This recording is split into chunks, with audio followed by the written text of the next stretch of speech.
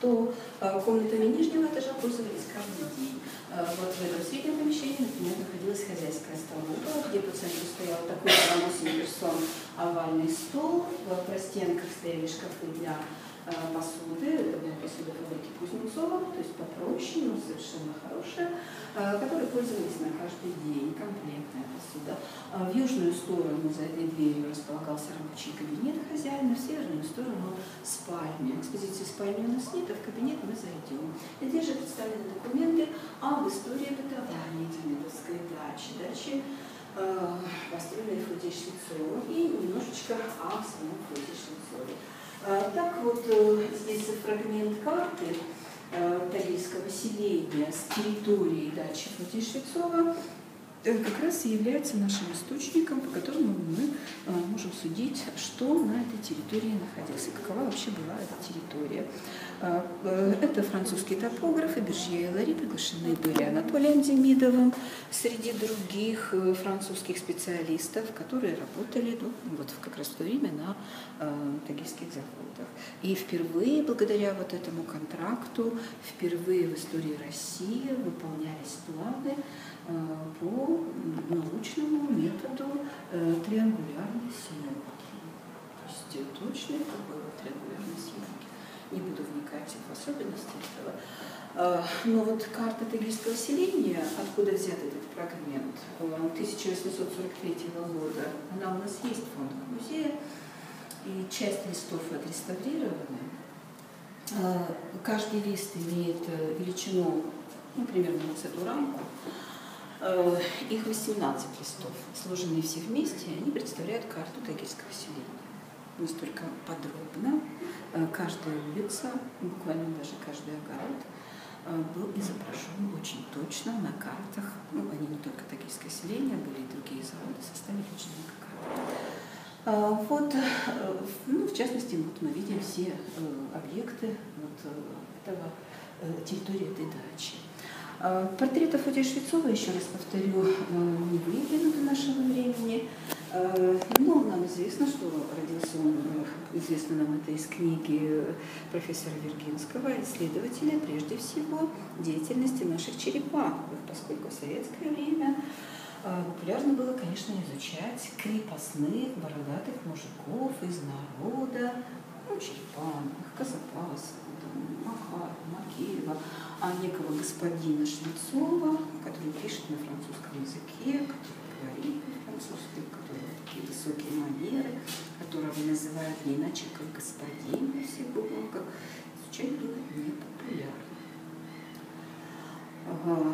Господь не изучали особо в советское время.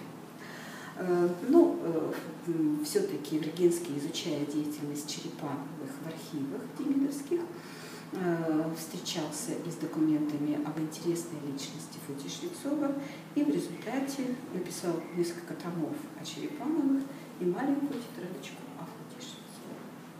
Вот благодаря этой тетрадочке мы знаем э, жизнь Фути Швецова, что родился он в 1805 году в семье крепостного техника и учился в Бийском заводском училище. Вот у нас Э, есть учебники этого училища, в частности, французский букварь, э, учебник по минералогии. То есть э, там училось в этом училище совсем небольшое количество мальчиков со всех девяти заводов округа.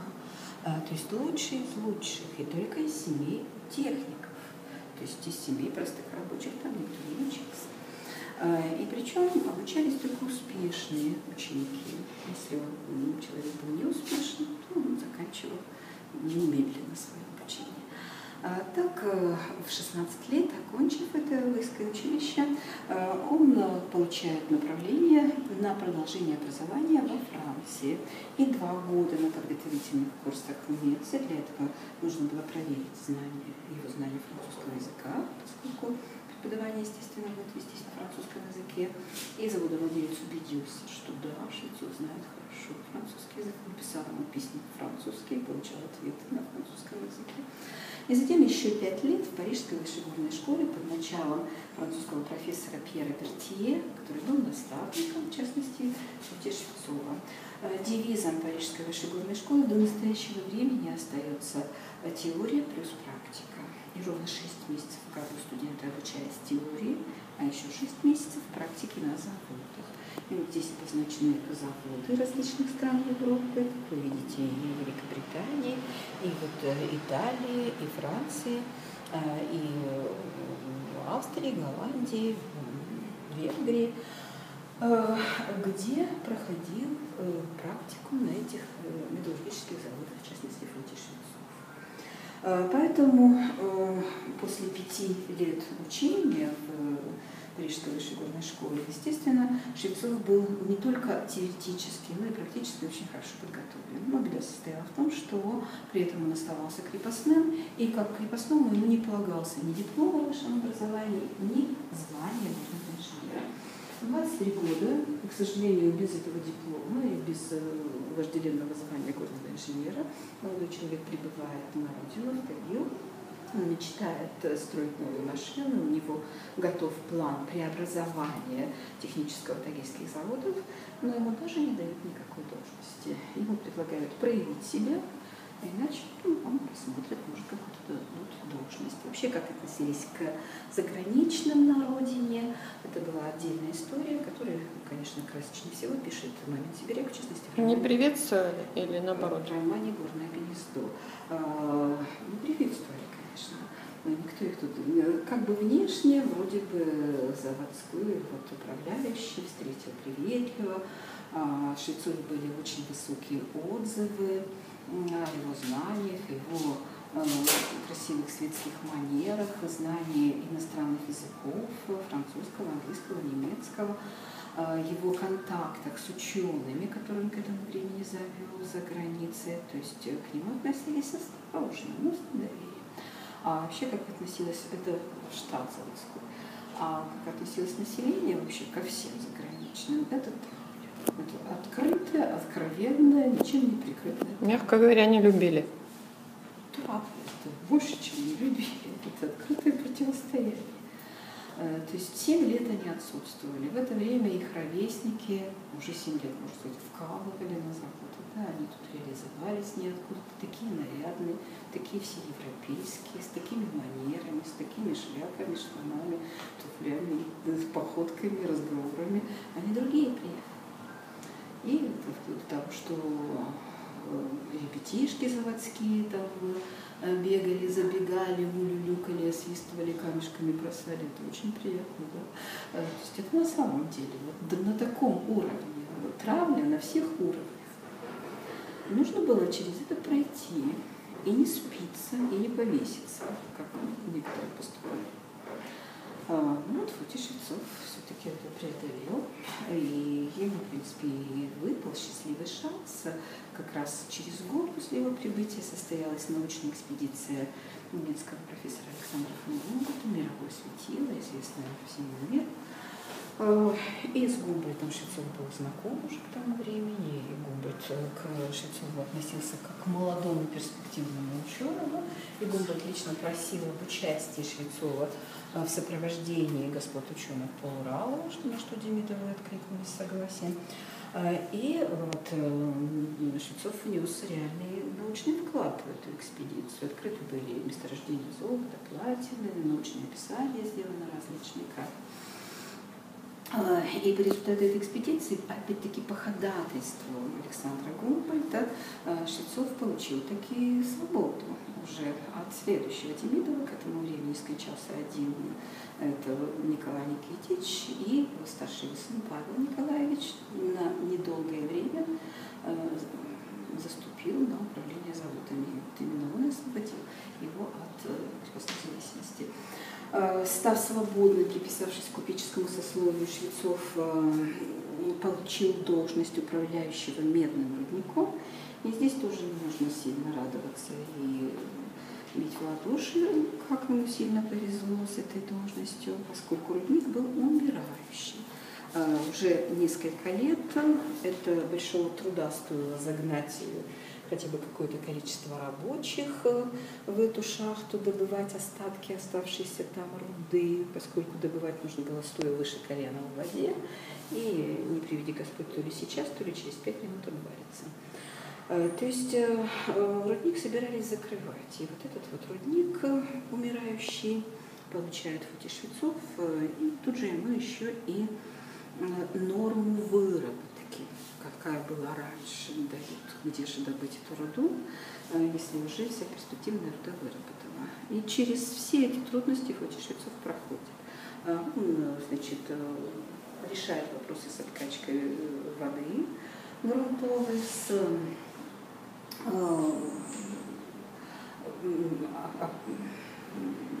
опущением добычи на более низкие, более перспективные горизонты, где действительно идут рудные тела богатые и где идут также и э, запасы малахита. То есть он увеличивает подъем э, медной руды в четыре раза по отношению к тем перспективным годам, которые были раньше.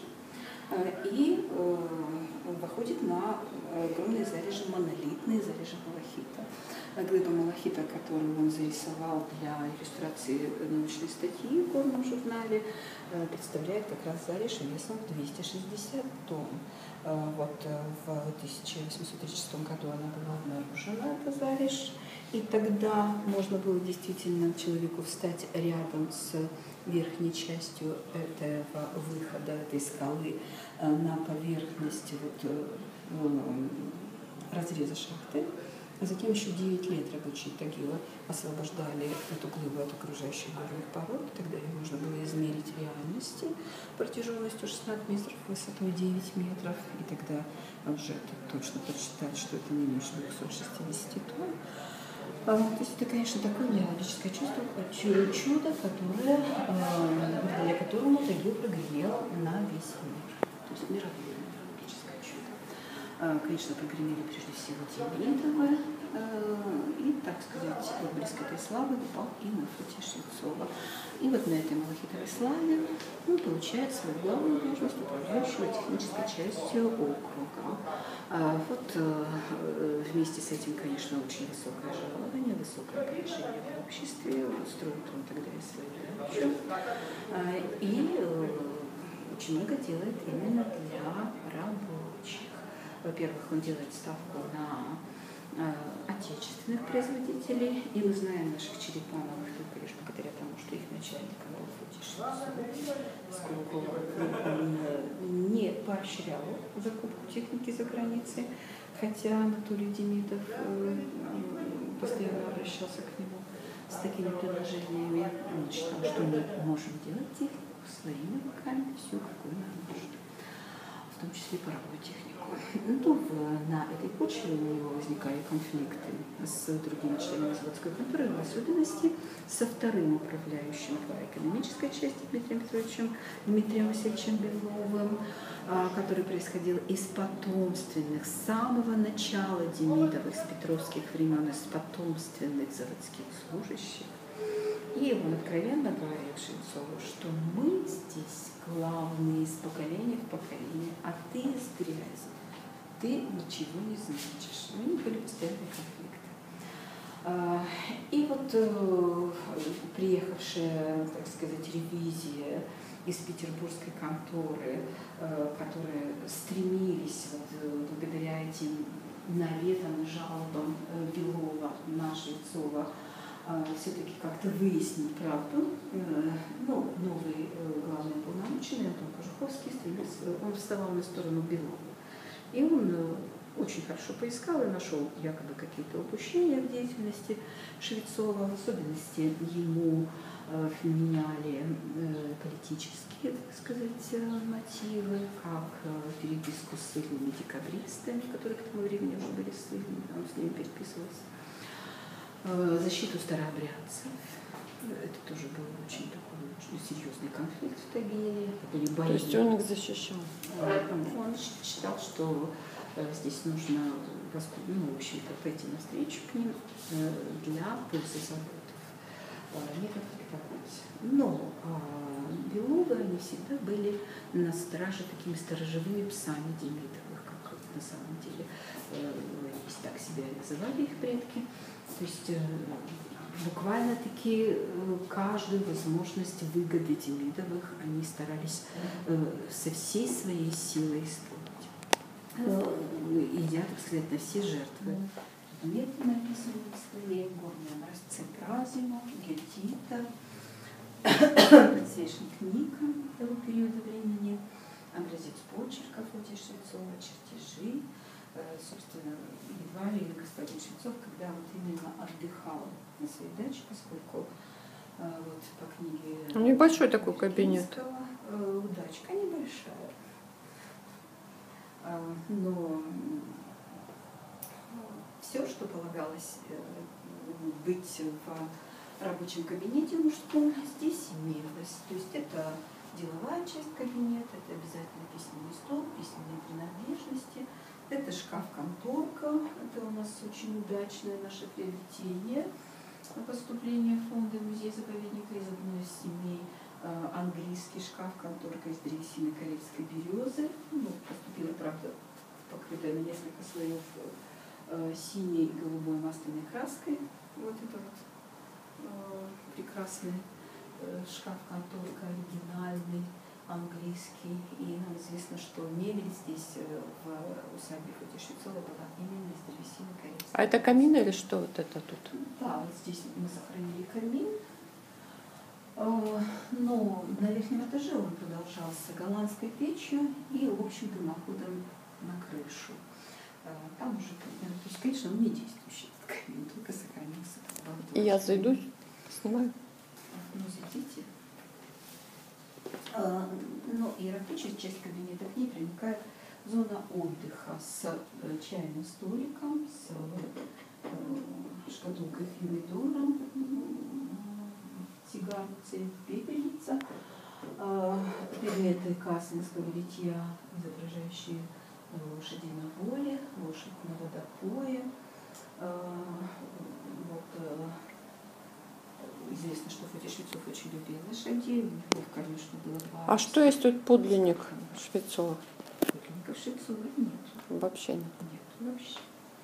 А, нужно, вы должны были понять, что э, когда его уволили, а, то э, вот э, Дмитрий Васильевич Белов, он стал единственным управляющим как по экономической, так и по технической части. Э, и э, это был антагонист э, Фоти Швецова. И здесь вещи Фоти Швецова были распроданы, распроданы в разные руки. То есть интерьер здесь поменяли для Демидовых. И даже если какие-то в архиве были изображения Фоти Швецова, то была возможность их изъять из архива. Почему мы сейчас не можем найти? Поэтому портрета нет. Это, да? это была вражда, открытая вражда. А, это была вражда э, ежеминутная, ежечасная, постоянная, а, противоборство, э, вот, которое постоянно... А Демидовы как к этому относились?